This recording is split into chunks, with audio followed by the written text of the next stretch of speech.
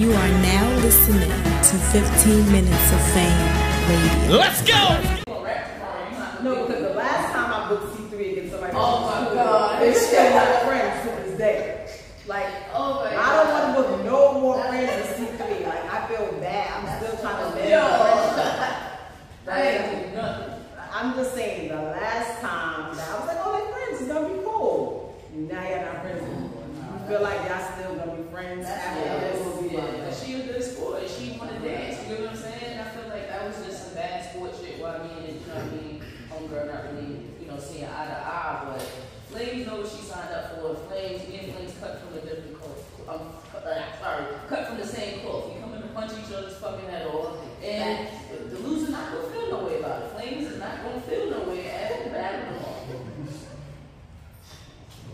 You're not gonna feel no way? I ain't gonna have to. Okay. No way. None. So, okay, so C3, hypothetically, Mhm. you don't win tomorrow. Then what? You gotta let me fathom that don't win part for a second. I mean, I mean, all right, let me not play. Like, let's say hypothetically she edged to battle. Because that's the only way. It's the only Yeah. way to act the most. Yeah, it's never. I say this all the time. You can watch any C3 battle. I don't care what it is, where it's at, how hard I wrote. You're gonna get some shit you like.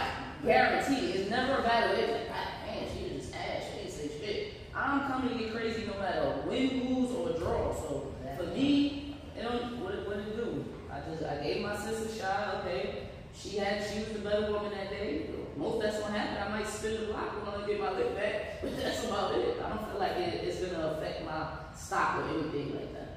Okay, and um, I have a similar but a little bit different question for you because the last time you was on prom, 15 minutes of fame! You are now listening to 15 Minutes of Fame Radio. Let's go!